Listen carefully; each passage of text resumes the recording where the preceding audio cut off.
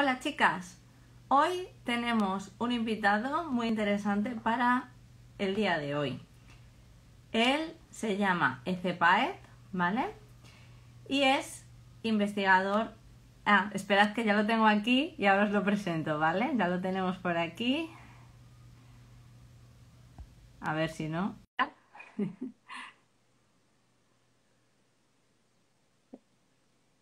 Creo que ya estamos. Ahí estamos. Vale. Hola, Hola.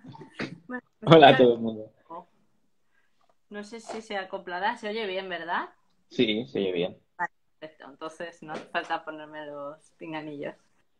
Bueno, eh, te presento brevemente y ahora tú ya nos, nos cuentas más. Bueno, Claro. yo te llamo Ece porque veo que pones Ece siempre. Sí, sí, sí, exacto, sí, sí. Vale, vale, genial.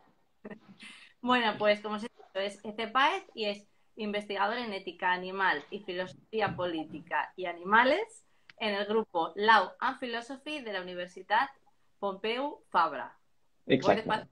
Son muchas cosas, pero... Y todavía queda más. Es miembro del Consejo Científico del Center for the Animal Ethics en la misma universidad.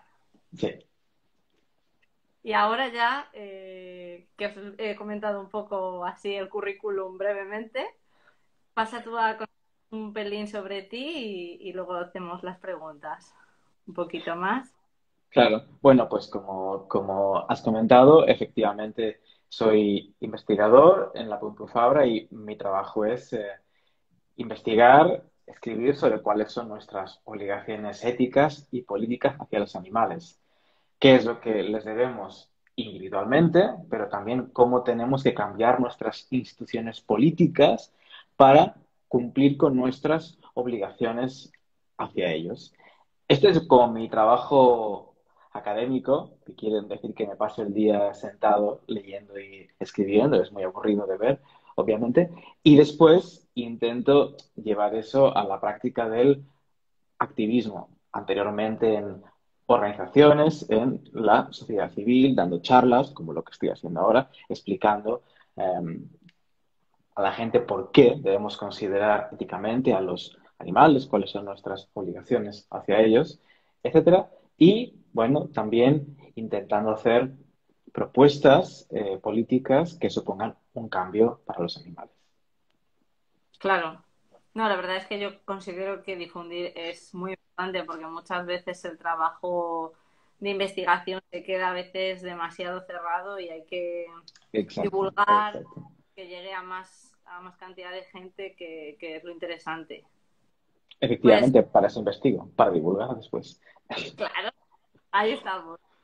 Pues vamos con la primera pregunta, que sería un poco ver primero cuál es la situación actual de los animales, así como el más...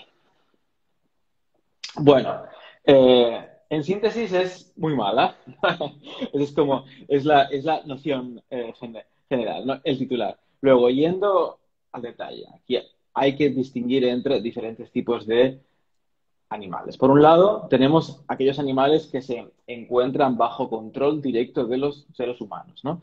Aquellos que eh, son utilizados en diferentes in- industrias, como la industria alimentaria, que es la más importante en este sentido, pero no solo la industria alimentaria, también la industria de la moda o la experimentación con fines biomédicos, la experimentación para el testeo de otros productos como productos cosméticos, ya no en la Unión Europea, pero eso sigue dándose en, el resto del mundo en general. Eh, para, entre- para entretenimiento, como circos, en nuestro, en nuestro caso, tauromaquia, en otros países existe el rodeo o la caza del zorro, etcétera. Eh, en total, en total, de animales que están siendo usados, que están siendo explotados y que se les daña y se les mata gravemente en todas estas industrias, eh, hay, contando solo a los terrestres, Te lo iba a preguntar, pero tú ya no lo Sí, vas sí, a claro, claro, vale, vale. No, o sea, contando solo a los terrestres, hay entre 70.000 y 90.000 millones eh, explotados, teniendo en cuenta que de, que de seres humanos solo hay 7,8 mil millones de seres. A mí me sigue humanos. pareciendo ¿eh? Sí, es muchísimo.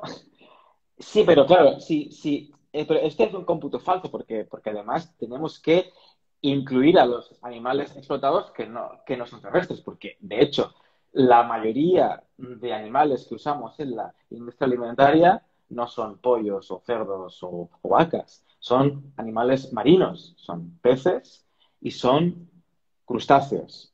Y sumándolos a estos, a peces y crustáceos, tenemos a centenares de miles de millones que bien se crían en acuicultura y a entre 1,2 y 2,7 billones, billones, no miles de millones, billones que se capturan en el mar. Por tanto, en total, en total de animales que usamos, y en este, y en, en este caso el 90 y muchísimos por ciento son en la industria alimentaria, tenemos entre 1,5 y 3 billones de eh, animales que matamos cada año. Es que eso es al año. Al año. Al año. Al año. Y luego están los animales que viven en la naturaleza, que hay eh, trillones de ellos, a, al menos un trillón de ellos, según algunos cálculos. A veces reciben daños por los, por los seres humanos, pero en general, más allá de eso, suelen tener vidas malas por fenómenos naturales. Bueno, pero vale, si no es por los humanos, entonces ahí ya no podemos controlarnos. Bueno, de, bueno, este e, e, es un debate ético sobre el que podemos hablar luego. Sí, sí. Vale. Bueno, pero simplemente es que, claro, has dicho unas cifras que son Sí. tan grandes que realmente yo estoy pensando que esto eh, teníamos que haber tenido una gráfica o algo porque vamos, esto es que el cerebro es como que mm, a veces no cuesta, ¿no? En plan, Exacto, exacto. Yo suelo poner eh, gráficas, lo que pasa es que no sé si se pueden poner en un live en Instagram, pero, sí, yo suelo poner gráficas cuando hablo de esto, claro. yo sé que se puede cuando está uno solo, pero cuando hay dos yo ya... Pero sí, sí, eh, si no otro día ponemos algo así como para que Claro, claro, claro. es demasiado, o sea, es, es un número que es que mi, yo, por ejemplo, pues no lo llego ni, ni a imaginar. Es demasiado, demasiado, demasiado. No, exactamente, exactamente. Sí, sí. Vale, bueno, entonces nos has dicho que la mayoría es en la industria alimentaria y Efectivamente. un poco los fines para los que más se suelen utilizar. Entonces, digamos que mayoritariamente este es el que más animales mata con diferencia y daña. Y es también el más dañino, ¿no? ¿O cuál sería el más dañino? Claro, dices no solo por la cantidad de animales que hay, sino por cuán malos son los daños que se les hacen, ¿no? Sí, sí, probable- probablemente es el peor porque, claro, supone, e- es el sistema en el que probablemente más tiempo en su vida pasa un animal en condiciones vitales pésimas.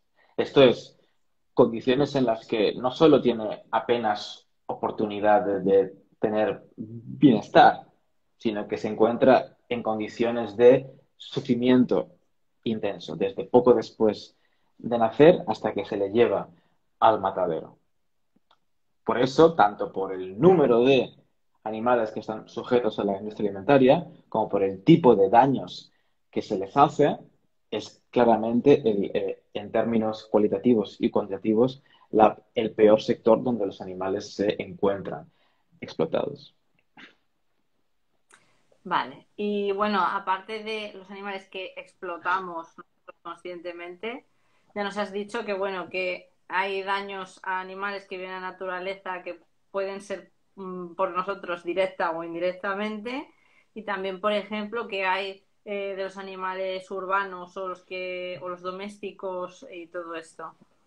Claro, esto es un punto importante. Los, los, los animales urbanos no se encuentran bajo nuestro control directo en el mismo sentido que los, que los animales que se, que se encuentran explotados en diferentes sectores económicos, pero sí que es cierto que viven en nuestras ciudades, en nuestros, en nuestros pueblos, y que a veces reciben agresiones por parte de los seres humanos. Esto sería un daño que les, eh, causamos por acción, pero también padecen daños por omisión, en el sentido de que pese a que viven con nosotros, pese a que son vecinos nuestros, en un sentido de hecho, aunque no, lo sea en un sentido legal, eh, las ciudades humanas no están pensadas para acomodar los intereses de los animales no humanos que viven en ellas, solo están pensadas para acomodar los intereses de los seres humanos.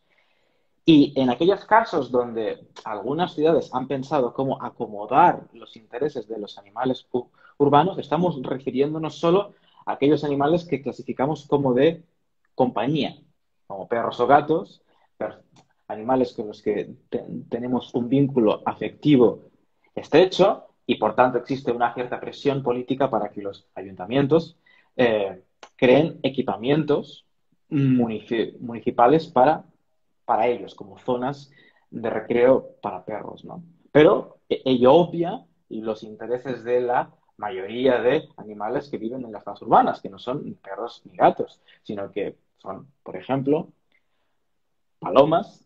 Yo conozco sobre todo el caso de Barcelona, que es la, ciudad donde, donde vivo. Hay muchas cotorras, hay jabalís también, y la, las políticas públicas en relación con, los animales urbanos suelen estar dirigidas a un, al control poblacional no ético. Esto es, básicamente, matarlos. Ah, de la manera. Bueno, sí, ahora se está poniendo muy de moda lo de Madrid, se está poniendo de moda matar a todo lo que todo lo que pille. También. Claro, no, claro, no es no solo Madrid. En Barcelona, el método de control poblacional tradicional de palomas es captura y muerte. El método tradicional de control mm, de jabalíes es captura y muerte.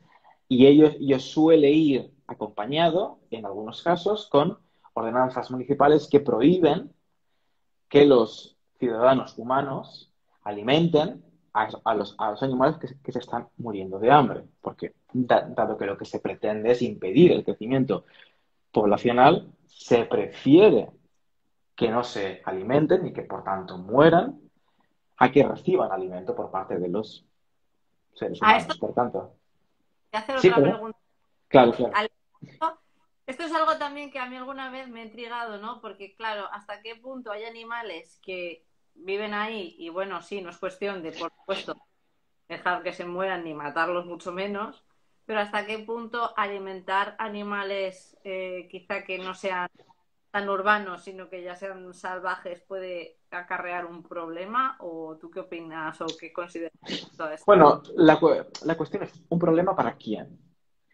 E-, es un problema en el sentido de que como habrá más eh, individuos, claro, puede ser, puede ser una molestia para los, para, los seres, para los seres humanos, a lo mejor es un daño que debemos tolerar hasta, hasta cierto punto. Si es un problema para los propios animales, esto es más grave.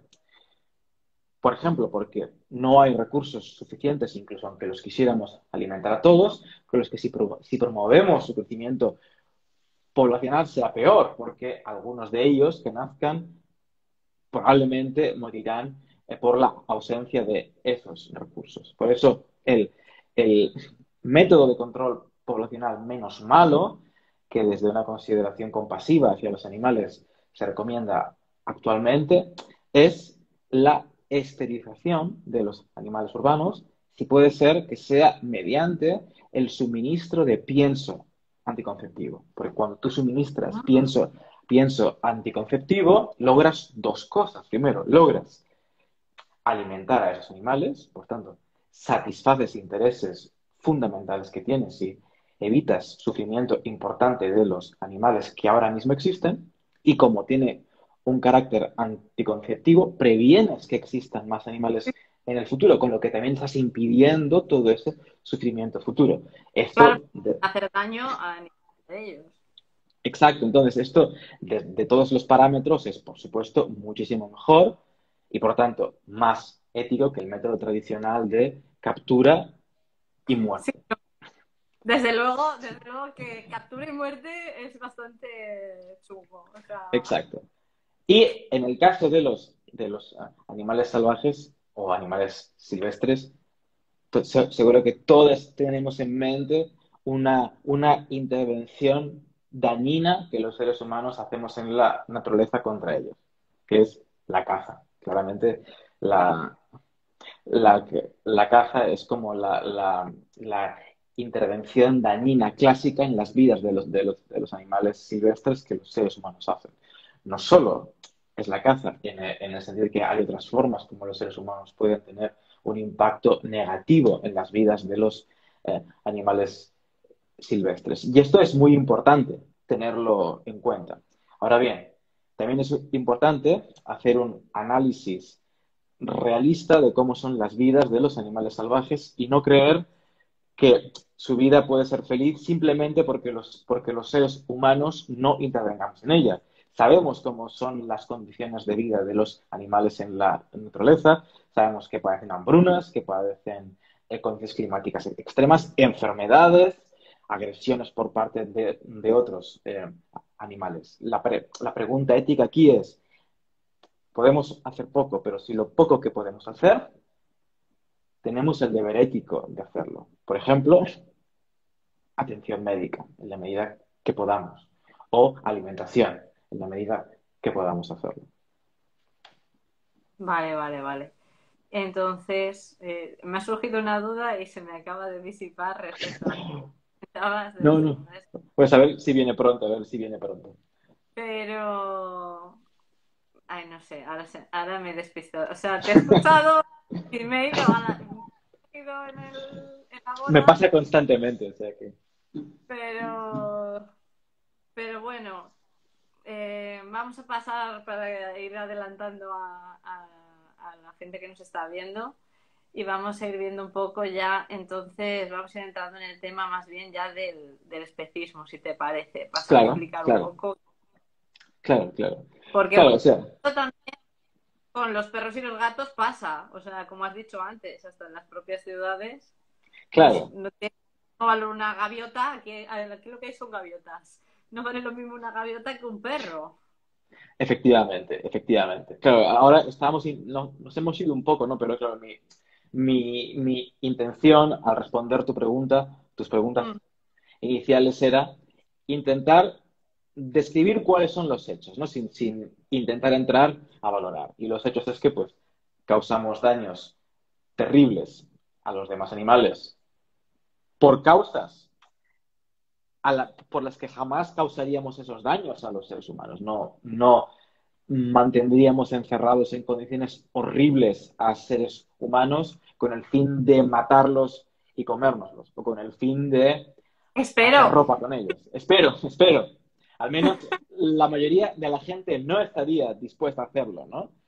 Entonces, darnos cuenta de que existe esa diferencia de trato, ese trato desfavorable de los intereses de los animales no humanos respecto de, lo, intereses similares de los seres humanos, es clave.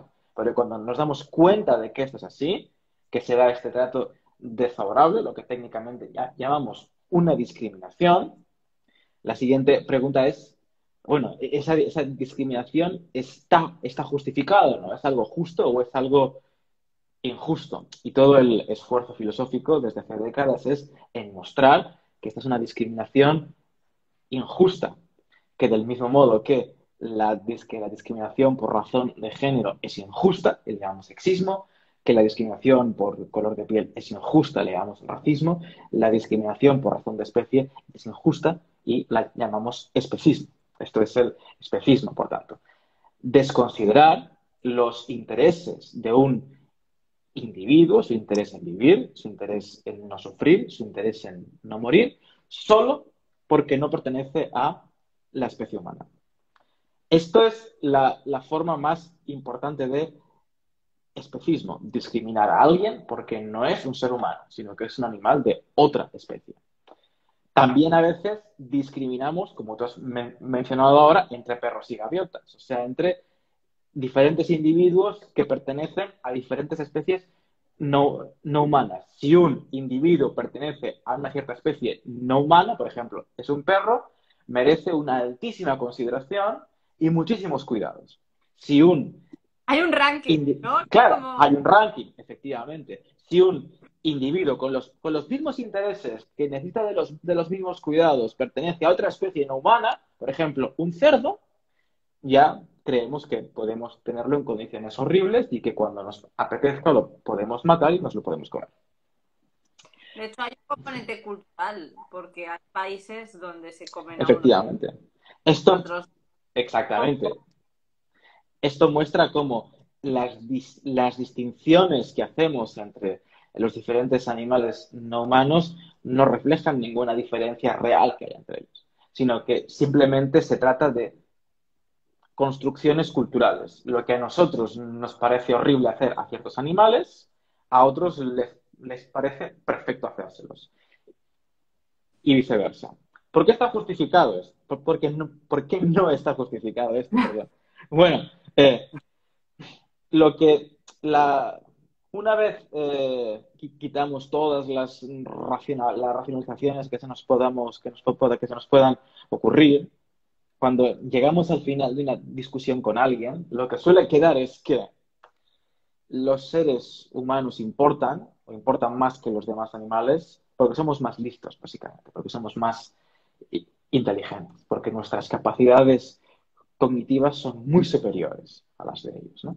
Porque somos seres racionales. Mientras que los demás animales no. Y como ellos no, y nosotros sí, nosotros merecemos todo el respeto, mientras que los demás animales no lo merecen. Ante esto hay varias cosas que se pueden decir para mostrar que es falso. Yo muchas cosas respeto, pero no voy a decir nada, pero...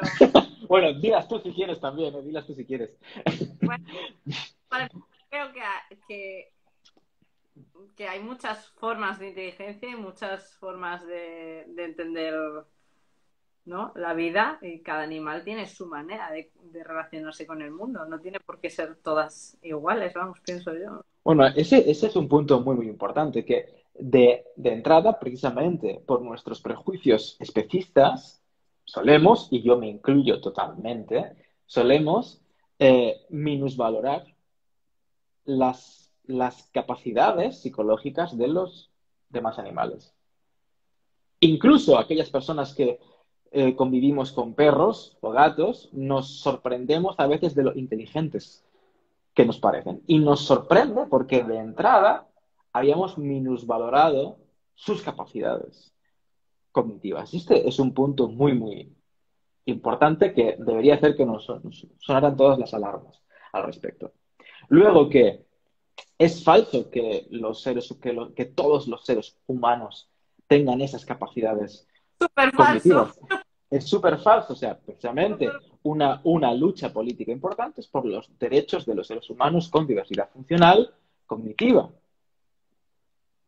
Si me estás diciendo que podemos discriminar a los demás animales porque son menos inteligentes, lo que me estás diciendo es que no, no pasa nada con discriminar a esos seres humanos solo porque son menos inteligentes, lo cual es aborrecible. Y no puedes comprar una parte del pack y quedarte con la, con la otra. Si lo que dices es que la inteligencia es lo que importa, por coherencia tienes que aceptar o que, o que no importan los seres humanos con diversidad funcional y los animales, o si te parece aborrecible, tienes que aceptar que, ok, los seres humanos con, diversidad funcional merecen el mismo respeto, los mismos derechos, pero los demás animales también. No puedes decir que unos sí y los otros no. Y luego, después que no es que desde un punto de vista ético, lo que hace que tengamos que considerar a otro, lo que hace que, otro individuo tenga estatus ético o que deba tener estatus político, no es cuán inteligente es. O sea, si, si, si, si yo te pego un puñetazo, perdón por el, ejemplo, pero si, te pego un puñetazo, no es no, no, está mal que te haya pegado porque seas muy lista está mal que te he pegado porque te hace daño. Ese es el punto. ¿Y cuán daño nos hace esto? Puedo pegar, ¿no? Es como si... Claro, claro. Te puedo pegar, ¿no? ¿Cómo, cómo, perdona? Que se ha cortado. Que, por esa regla de tres es como, si yo soy más lista que tú, te puedo pegar. Exactamente, exactamente.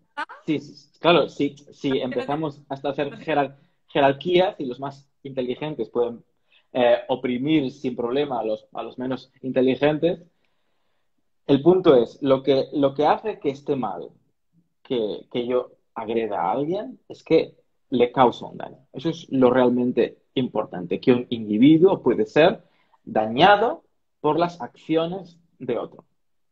Y es condición necesaria, es básico para que un individuo pueda ser dañado, que sea lo que llamamos sintiente. Llamamos individuos sintientes básicamente a los, que, tienen capacidad para sufrir y para disfrutar con sus vidas, los que pueden experimentar placer y los que pueden experimentar dolor. Si un, si un individuo es sintiente, puede sufrir. Si un individuo sintiente, le podemos causar un daño con lo que le hacemos con las decisiones que tomamos. Y por tanto, por tanto, en nuestro razonamiento ético, en nuestro, en nuestro razonamiento político, debemos tener ese daño en cuenta. Por eso es, es discriminatorio no hacerlo. En la medida que los demás animales sean también seres sintientes, seres con la capacidad para sufrir y para disfrutar de sus vidas, en esa medida debemos tenerlos en cuenta, debemos tener plenamente en cuenta sus intereses. Sí, porque además cuando hacemos daño a otro animal, eh, somos conscientes. no lo hacemos, en la mayoría de las veces, alguna vez puede, puede pasar, pero a que hagamos daño inconscientemente, pero este tipo de explotación somos muy conscientes del daño que estamos haciendo. Efectivamente, nadie puede, al menos respecto de los animales vertebrados con los, con los con, y los pulpos, que eh, con el resto de invertebrados es más eh, complicado, nadie puede alegar ignorancia. Nadie puede alegar que no sabe que esos son individuos que claramente están sufriendo con lo que les estamos haciendo. No, no, no, no puede sostenerse eh, actualmente la idea que los demás animales son como máquinas que no sienten nada. Sabemos que eso es falso y por tanto debemos actuar en consecuencia. Muy bien. Bueno, y entonces vamos a pasar al siguiente punto que sería animales, ¿qué derecho? Sí, hombre, para que no nos tiremos aquí, porque yo te doy conversación toda la que quieras. bien, bien, bien. Eh, entonces, sabiendo esto, el daño que nosotros les, les causamos o les podemos causar o les podemos dejar de causar, eh, ¿tienen derechos los animales? ¿Deberían tener? Porque con este tema también hay mucha controversia. Si los animales tienen derechos, deberían tener. O sea, la, la respuesta es un rotundo sí. Es, un rotundo sí. Eh, y ahora explicaré, explicaré mm, por qué. Eh, los, demás animales, como nosotros, tienen estos intereses básicos que hemos mencionado ahora. Un interés en vivir, un interés en no sufrir, un interés en no morir eh, y, y disfrutar de sus vidas. Eh, la, siguiente pregunta es, ¿cuál es la mejor forma de proteger estos intereses?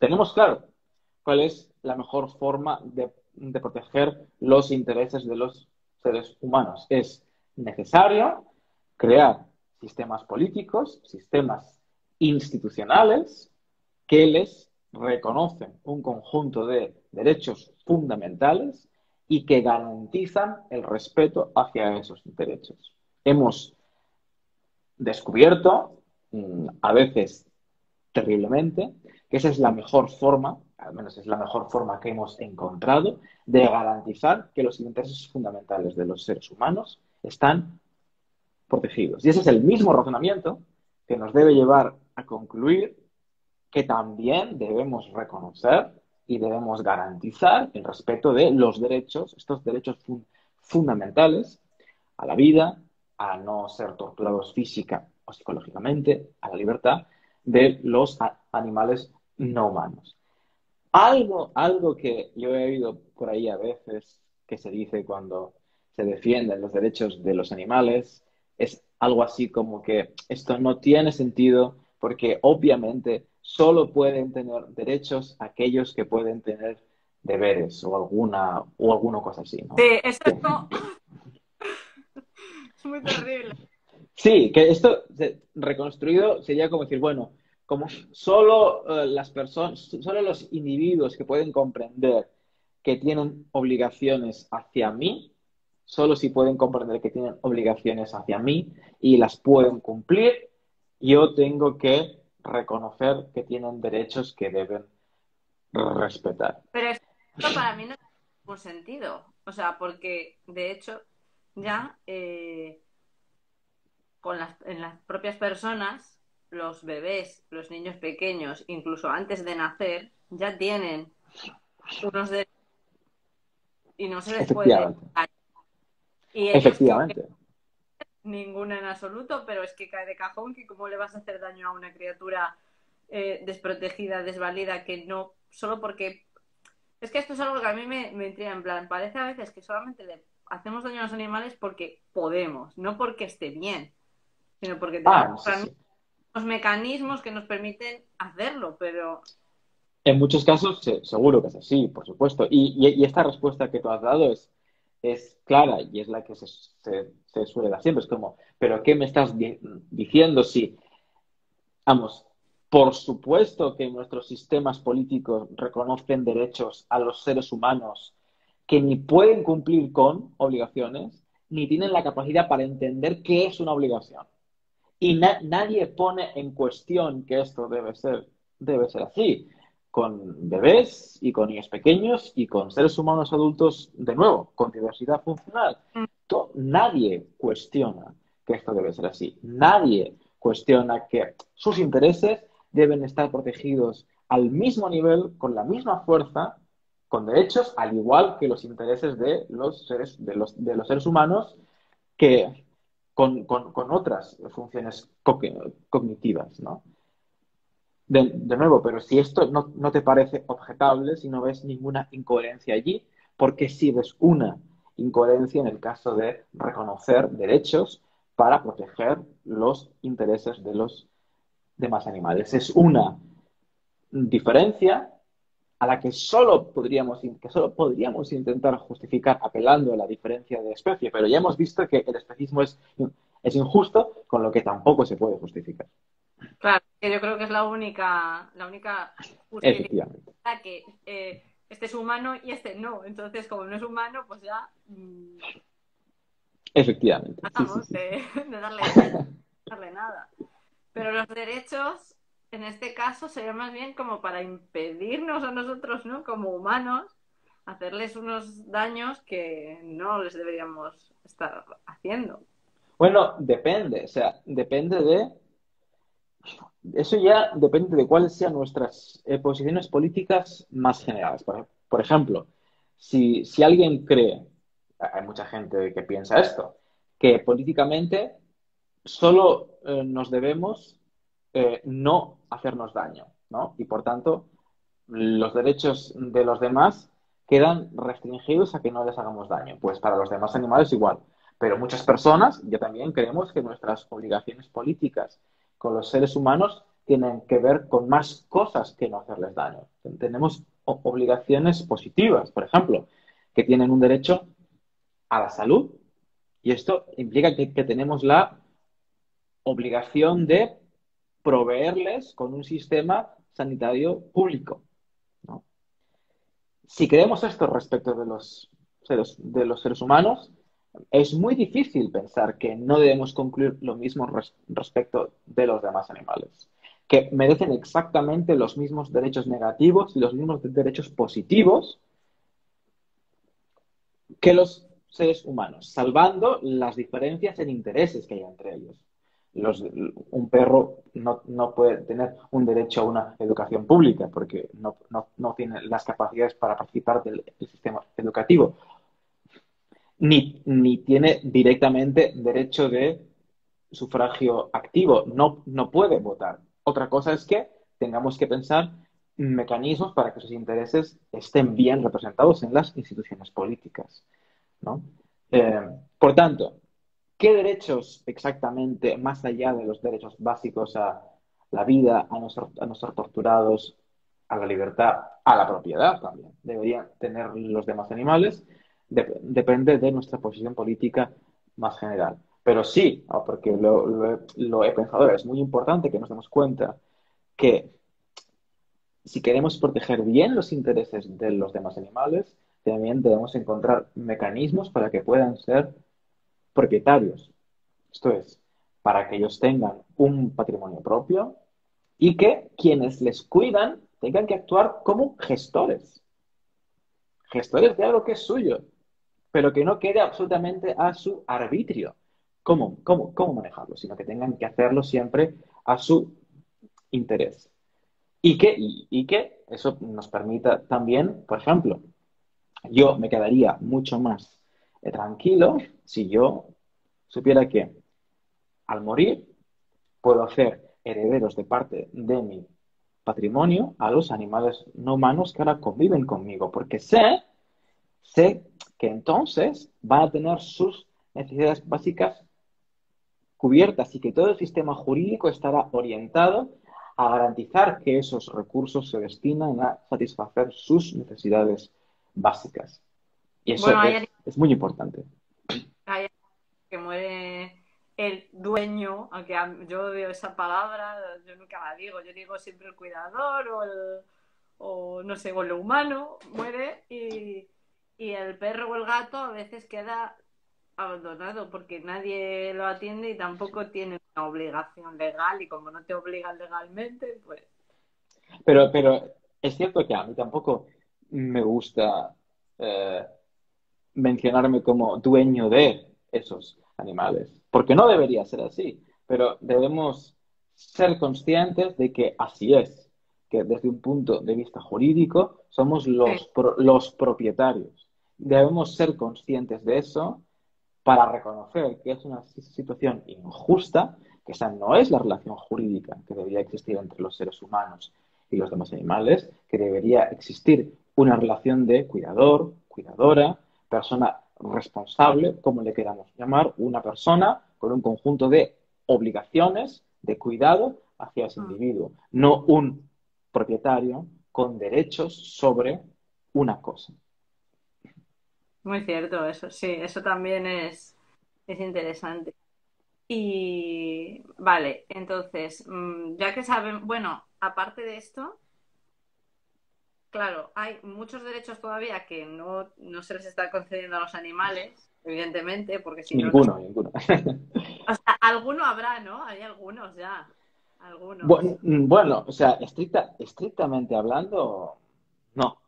Ah, ¿no? Mm, derechos no, o sea, que, que, existen eh, reglas que impiden que los seres humanos hagan, hagan ciertas cosas, sí. Ah. Pero, pero, pero pero no llegan a ser derechos. Que, el sistema dice, estos animales son titulares de estos derechos y, por, y, debemos respetar esos derechos. No, no, no, no, no. Esta es una lucha que todavía continúa. Vale, y entonces eh, quizá, bueno, no sé, a lo mejor me voy a colar, pero quizá deberíamos empezar por los derechos más básicos para dejar de, matar a los animales de esta forma, ¿no? Y luego ir progresando, o cómo consideras que... Bueno, existe, como bien has visto, existe todo un debate estratégico. Esto ya no es filosófico. Esto ya es una cuestión ah. estratégica, obviamente. Es, bueno, dado como es el mundo... ¿Perdón? Ya te he metido en un jardín. no, pero, o sea, simplemente puedo decir que hay un debate y por, ejemplo, hay quien piensa que la mejor forma de entrada de los derechos de los animales a nuestro sistema político es pelear por el reconocimiento de derechos básicos de los grandes simios, de, gorilas, bonobos, orangutanes y de otros animales con grandes capacidades cognitivas, como los cetáceos o como los elefantes. El razonamiento es que como tenemos este prejuicio que quienes merecen derechos son los individuos más inteligentes, puede ser más fácil que se reconozcan derechos a estos animales que muchos consideran que tienen suficientes capacidades cognitivas como para poder ser calificados de personas en el sentido de individuos que se reconocen a sí mismos, etc. Todo esto es muy problemático, pero digamos que esa es la, ese es un razonamiento y por tanto hay muchos defensores de los eh, animales, muchos, muchos juristas que pelean por esto. Pelean porque parlamentos o porque tribunales reconozcan a ciertos individuos no humanos como personas en sentido jurídico. Hay algunas jurisdicciones, como Argentina, por ejemplo, o Colombia, donde para efectos muy pequeñitos, para efectos de un caso, ¿no? Por, eh, ejemplo, el derecho a no ser encerrado, eh, lo que llamamos habeas corpus, para eh, cuestiones muy restringidas para un animal en particular, un tribunal en una sentencia les ha reconocido como titulares de ese derecho. Pero esto no es extensible a ningún otro animal. Luego hay otra estrategia que sería, vamos a por los animales no más cercanos cognitivamente a nosotros, sino a los animales más cercanos afectivamente, a los perros y los gatos. Entonces vamos a intentar modificar el sistema jurídico para que cosas que ya tenemos la obligación de hacerles en cuanto a dueños, pasen a ser derechos suyos. Esa sería otra estrategia. De momento, ninguna ha triunfado, o sea que no sabemos cuál es la mejor todavía. Ya, es que hay muchos intereses ahí, está la cosa complicada, pero bueno. Eh, entonces, para que no nos quedemos así de bajona, vamos a ver, vamos a ver qué soluciones o qué nos puedes eh, decir de cómo podemos actuar primero de una forma en plan individual, porque yo creo que cada persona podemos hacer mucho si queremos, y luego también de forma colectiva qué se podría hacer para, combatir este, este, problema. Bueno, eh, individualmente creo que, eh, o sea, de, de, todo lo que yo he dicho y bueno, de todas las reflexiones que existen sobre la consideración hacia los demás animales, se sigue que una una ética del consumo muy, mm, particular, que es, es injusto que con nuestro dinero financiemos a todas aquellas industrias que explotan a los demás animales. Y esto es básicamente lo que quieren decir ser veganos. Negarse a financiar las industrias que explotan a los demás eh, animales. Sí, porque además si tú o sea, si hay demanda, eh, es cuando una industria pues puede crecer, porque tiene demanda y, genera beneficio.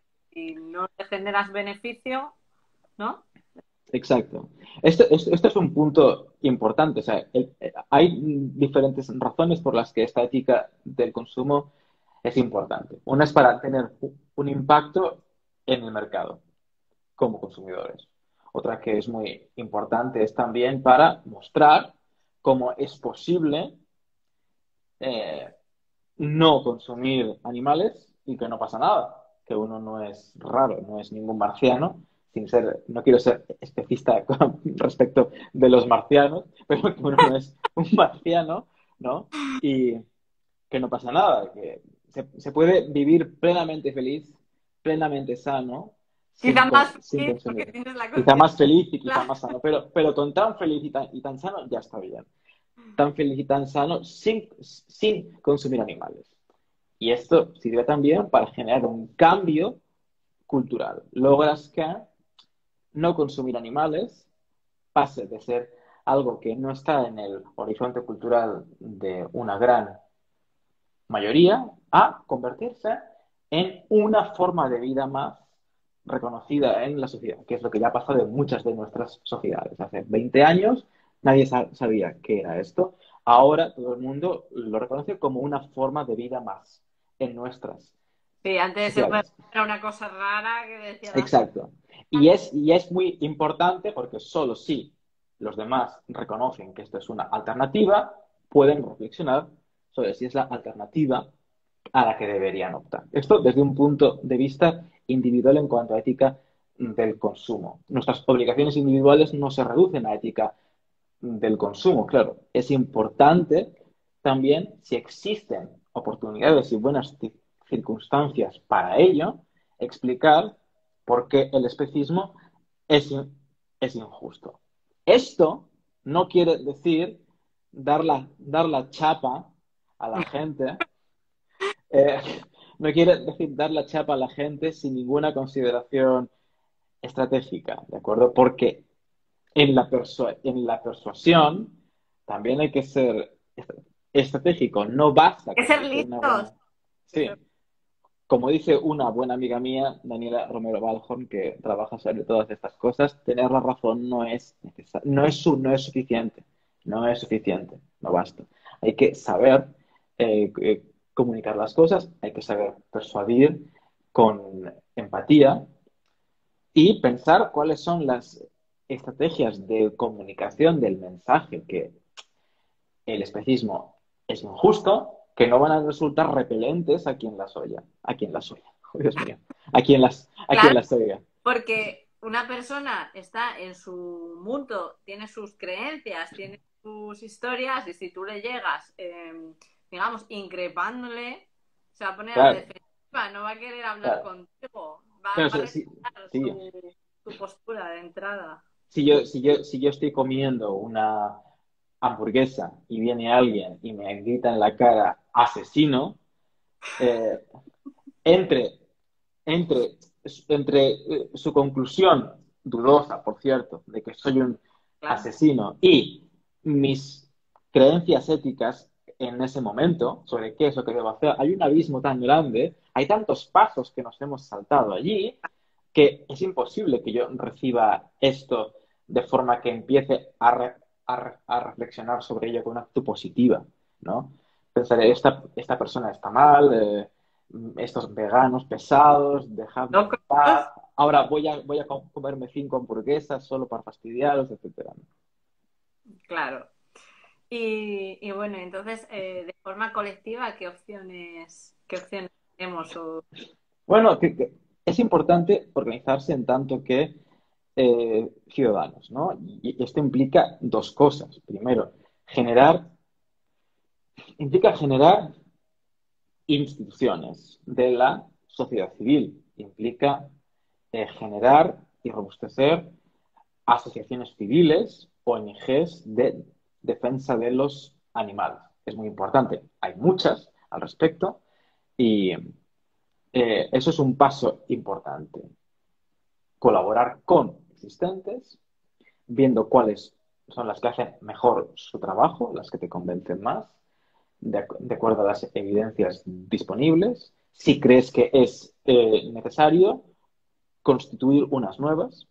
Desde un punto de vista colectivo, como ciudadanos, también podemos intentar cambios en los partidos políticos, porque no debemos, no debemos olvidar que el cambio institucional pasa por los representantes que, hemos, que escogemos nosotros en las urnas, ¿no? Y que del mismo modo que desde fuera de los partidos políticos tenemos que presionar, con hacer lobby para que consideren a los animales, es todavía mejor si existen defensores de los animales que trabajan desde dentro de los propios partidos políticos, ya sea partidos políticos cuyo único objetivo es la defensa de los animales, ya sea partidos políticos que tienen la defensa de los eh, animales entre el resto de temas que defienden, ¿no? como cualquier partido político eh, generalista. Y hay otra forma también que no podemos menospreciar y que es colectiva, que no es individual, que consiste en eh, constituir empresas que elaboren productos sin ingredientes de origen animal que sean cada vez más baratos y que por tanto estén al alcance de más gente, porque al fin y al cabo sí, eh, porque al fin y al cabo el, el veganismo debe ser una práctica popular, no puede ser una práctica de gente acomodada, que no lo es, no lo es. Pero, pero es cierto que si queremos reducir al cero, al máximo, los, los costes que la gente tenga de transitar de un estilo de vida omnívoro a un estilo de vida vegano, no basta solo con que el precio de los alimentos veganos sea bajo. El coste, el, coste gastronómico y el coste cultural tampoco puede ser muy alto. es verdad que el tofu en el supermercado oriental de, la, de la esquina me cuesta 50 céntimos, es cierto, Es cierto, es muy barato, pero para, pero, pero para muchas personas puede ser un, coste muy grande dejar de comer de una cierta forma, ¿no? Hamburguesas, salchichas, pizza, quesos, etcétera. Por tanto. No fue más barato la carne. ¿Qué? Sí, claro, es mucho más barato, claro, claro. Claro, claro, sí, sí, pero claro, pero digamos, a veces lo que ganas en, ser más barato lo pierdes en experiencia gastronómica, lo pierdes por el cambio de hábitos que tienes que tener. Por eso, todo lo que sea elaborar productos veganos, que sean baratos y que se parezcan en cuanto a textura, sabor, facilidad de inserir en nuestras prácticas culturales a antiguos productos de origen animal, son productos que reducen el coste de transitar de una vida en la que consumimos animales a una en la que, en, la, en la que no lo hacemos. Si la gente no encontrara ninguna, ninguna diferencia entre consumir unas cosas y, y, consumir otras, la persuadirles de que eso es lo correcto sería mucho más fácil, por supuesto. Sí, porque bueno, algo, algo que yo noto es que nosotros nos tenemos como que a veces buscar mucho la vida para encontrar eh, soluciones originales o, ¿sabes? A no ser que lo quieras comprar todo pre, precocinado, prefabricado. Claro. Gusta, yo soy muy claro, entonces, si quieres algo siempre el tofu pelado y la verdura lisa y tal, tienes que comerte la cabeza y crear y pensar cosas que, claro, la gente que viene de preparar esas comidas con otros productos le cuesta mucho imaginar y cambiar si nadie les ofrece algo que pueda hacer el, la sí, sí. Exacto, exacto, exacto. Sí, sí, sí, exactamente, exactamente. O sea que hay, hay un problema muy grave, que es el especismo, que es, es la discriminación ética y política que padecen los demás animales. Resolverlo es una cuestión de muy largo plazo. Tenemos que entender que nos vamos a morir sin que esto se haya solucionado. Eso está muy claro. Hay que aceptarlo. Pero, pero hay muchas cosas que podemos hacer al respecto para adelantar eh, una situación en la que los animales vivan, eh, formen parte de nuestras eh, sociedades en pie de igualdad con nosotros. No entiendo, es que hay aquí una persona que está dejando comentarios, pero es que no, he entendido muy bien lo, que nos ha dicho. A ver, ¿lo has visto, ese? a ver, un segundo. Lee los comentarios y a ver si le sabes tú responder, que lo harás mejor que yo, porque...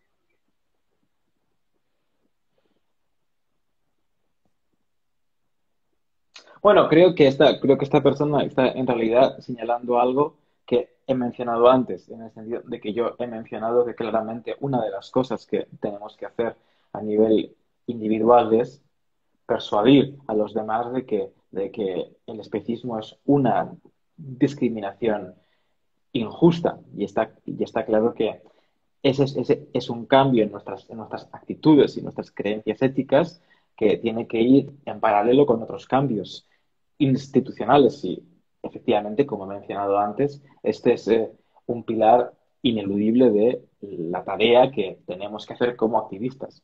Ahora bien, también como activistas podemos hacer una división del trabajo. No todo el mundo tiene por qué dedicarse a dar la chapa a los demás sobre el eh, especismo. Otros se pueden dedicar a hacer otras cosas, a hacer lobby eh, político, a, a generar productos veganos, etcétera. No todos tenemos por qué estar siempre a lo mismo y de hecho probablemente lo más eficiente es que nos dediquemos a aquello a lo que tenemos más talento para hacer. Uno será hacer comunicación, pedagogía, otro será hacer otras cosas. Efectivamente, yo creo que lo más inteligente es abarcar varios campos para poder actuar mejor, porque si nos quedamos solo en divulgar, pero luego nadie hace a lo mejor algo efectivo que pueda la gente poner en práctica en su vida, va a ser mucho más difícil. Entonces, por una parte sí, está muy bien concienciar, por supuesto, y difundir, pero bueno, yo por ejemplo, la parte que hago más bien es de concienciar con mi arte y demás, pero, pero entiendo que, este tipo de iniciativas son muy necesarias y y bueno, y lo que tú dices, que bueno, aunque sea lento y no esperemos que sea de hoy para mañana, habrá que empezar algún día, ¿no? Y habrá que, que darle movimiento para que pueda seguir avanzando y se puedan ir logrando casas, porque si no empezamos nunca no vamos a Sí, por algo que has mencionado ahora, yo quiero dejar claro, porque a ver si, le, si va a aparecer aquí a la gente, que esto de la defensa de los eh, animales y el rechazo al especismo es algo reciente, ¿no? Y, creo que es bueno que la, que la, que, la gente se dé cuenta que, al, que el movimiento actual en defensa de los animales existe desde hace al menos 40 años. Antes ya había algunos def defensores de los animales, sobre todo defensoras de los animales, y, había un movimiento centrado en el vegetarianismo, un movimiento centrado contra la experimentación animal ya en el Reino Unido a finales del siglo XIX, etc. Pero el movimiento actual existe desde hace 40 años y si actualmente el, el, el, el, rechazo al especismo, el estilo de vida vegano es menos marginal de lo que era antes, es por todo el trabajo que han hecho esa generación y media, dos generaciones de antes. ¿no? Esto no es una lucha eh, que nace ahora. No, no, no, Construimos, no, claro, pero era para dejarlo claro que nos están escuchando, ¿no? Que, y que, como siempre, construimos sobre el trabajo que han hecho los otros. Perfecto. pues muy bien. Pues yo creo que ya estaría todo dicho. Si quieres añadir algo más y si no, yo creo que, que nos has bueno. muchísimas cosas y muy bien y, y ya no, también está feliz, le está quedando yo, yo sobre todo darte las, darte las gracias por abrir este espacio para que pudiéramos hablar de esto y, por supuesto, gracias por tu compromiso personal al respecto. Nada, muchísimas gracias a ti porque, oye, yo dije, a ver si puedes venir y explicarnos esto, que tú que, que eres experto precisamente en esta temática y ya se ve que la controlas muy bien, o sea que está genial y muchísimas gracias porque al final te, te, he tirado aquí de la lengua y te he tenido un buen rato. Con Yo encantado, encantado, encantado. Pero muy bien, muy bien. Pues nada, muchísimas gracias, Ece. Otra vez te doy las gracias y a todos los que habéis estado aquí y bueno, los que lo veáis en diferido igual. Os mando un besito enorme a todos y Besos. nos vemos pronto. chao, chao. chao, chao.